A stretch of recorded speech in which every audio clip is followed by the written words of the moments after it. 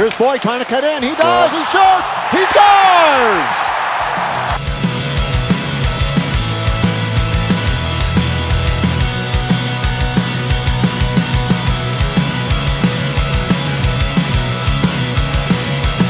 Into the blue line. A wrist shot from there by Varley. Blocked. Another try with Zabrowski down.